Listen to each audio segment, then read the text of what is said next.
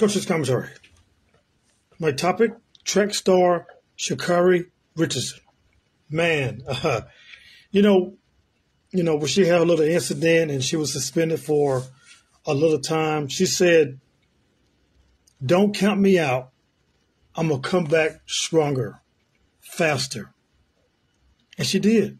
She got criticized, all that. She's gonna come back and she was going to be on the top of the mountain, and she is.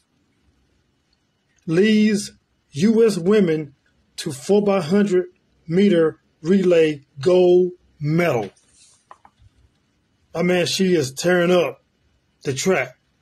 You know I'm saying? People that, you know, turn their back on her, the people that criticized her, now their mouths are shut. You can't hear nothing from them because she was do she doing everything she said she was going to do and I'm so uh, proud of her. Congratulations, Sha'Carri.